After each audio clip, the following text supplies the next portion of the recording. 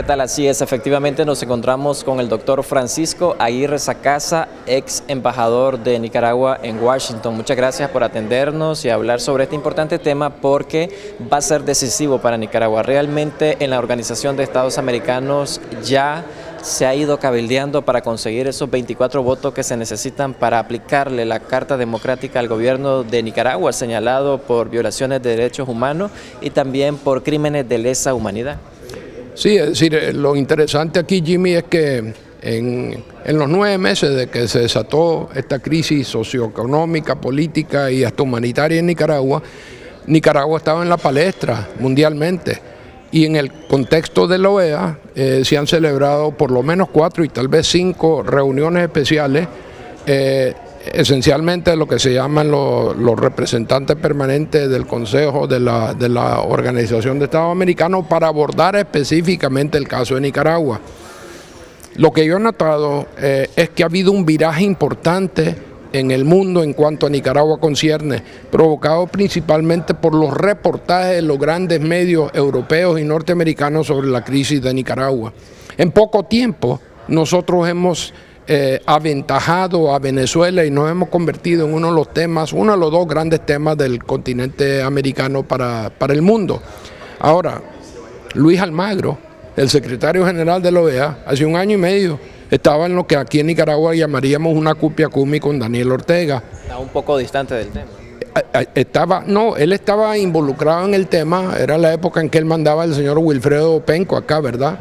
Y todo apuntaba hacia una un arreglo en cámara lenta de cara a elecciones en el año 2021 y se estaba abordando con asesoramiento técnico supuestamente de la OEA temas como eh, el padrón electoral, eh, la observación, etcétera, pero la verdad es que no se hizo de una manera muy transparente y había muchos nicaragüenses que estaban inconformes con el actuar de la OEA. En la medida que aquí empezó la represión, en la medida que murieron entre 300 y más de 500 nicaragüenses, en que fueron heridos más de 3.000 nicaragüenses, eh, desaparecidos quién sabe cuántos más, eh, un enorme chorro de exiliados que se han ido a Costa Rica y otras partes, ha evolucionado la posición de Almagro hasta el punto que ahora él está como punta de lanza en este esfuerzo de tratar de aplicarle a Nicaragua la, Carta Interamericana Democrática. Ahora, hay una cifra que te voy a mencionar en cuanto a los votos, ¿verdad?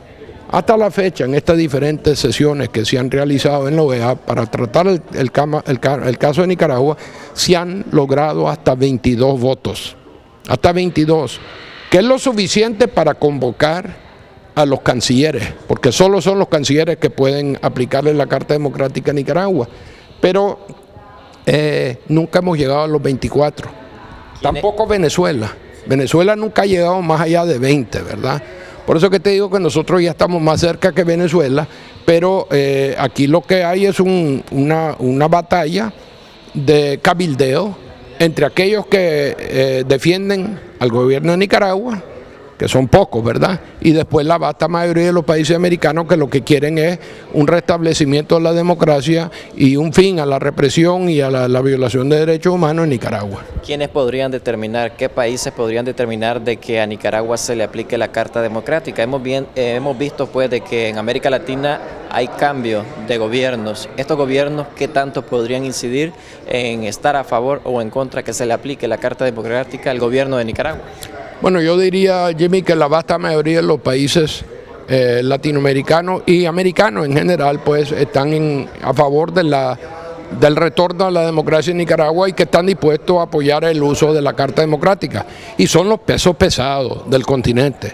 Brasil, la Argentina, Chile, Perú, Colombia, eh, Estados Unidos, Canadá, solo para mencionarte algunos de ellos, ¿verdad? En su conjunto estamos hablando de el 90% de la población y más del 90% de la, del peso económico de los países del, hemisferio.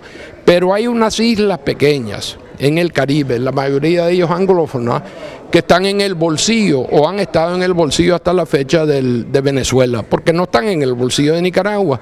Y Venezuela en ese sentido ha escudado al gobierno de Daniel Ortega. ¿Qué pasa con México, donde el presidente que acaba de asumir es Manuel López Obrador y se ha, se ha, visto un poco distante a los temas de violaciones de los derechos humanos y él dice pues de que no va a tener ningún tipo de incidencia en lo que está ocurriendo en otras naciones y él quiere respetar Sí, él no ha dicho que no quiere incidencia, él dice que no quiere participar en injerencismo, ¿verdad?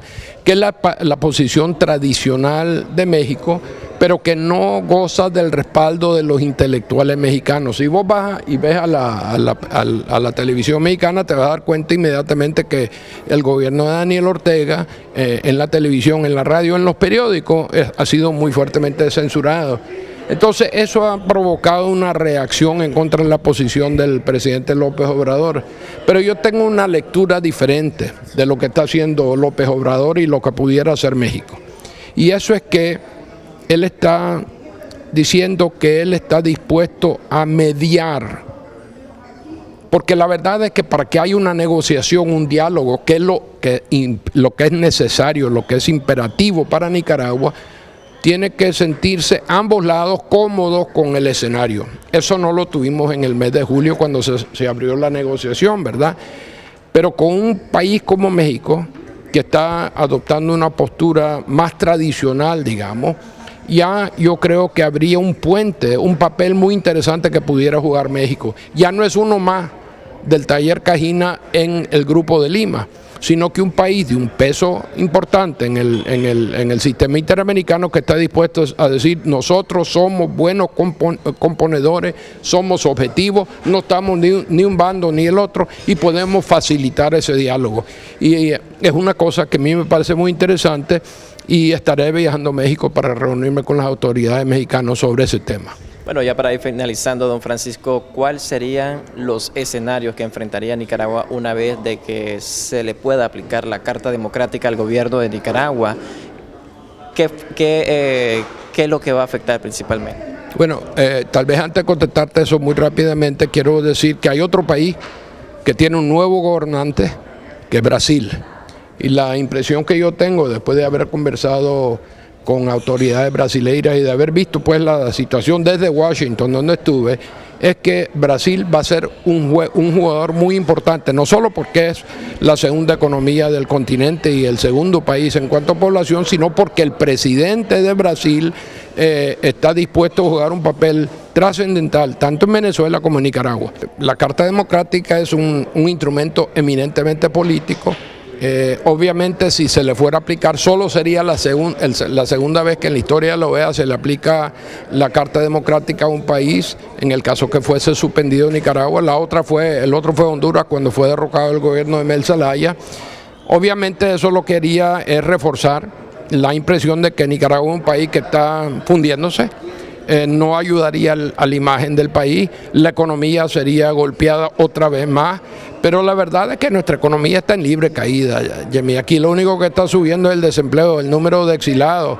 Eh, y hay una carta adicional que a mí me preocupa mucho y es que los Estados Unidos podrían recurrir a la, al DR CASTA, al, al, acuerdo de libre comercio que existe entre, entre Nicaragua y los Estados Unidos y que nos da a nosotros acceso privilegiado al mercado norteamericano. Hay 120 mil nicaragüenses, Jimmy, que trabajan en la zona franca. Y si el gobierno norteamericano decidiese sacarnos a nosotros el, del DR CAFTA, eh, eso sería devastador para esas 120 mil personas que trabajan en la zona franca. Sería bueno. el golpe de gracia para la economía nuestra. Bueno, muchas gracias, don Francisco, por atendernos y hablar sobre este importante tema. Vamos a esperar qué es lo que pasa en las próximas sesiones de la Organización de Estados Americanos para ver si los cancilleres o los gobiernos logran eh, consensuar o cabildear por los 24 votos que se necesitan para la aplicación de la Carta Democrática. De esta manera retornamos a estudio.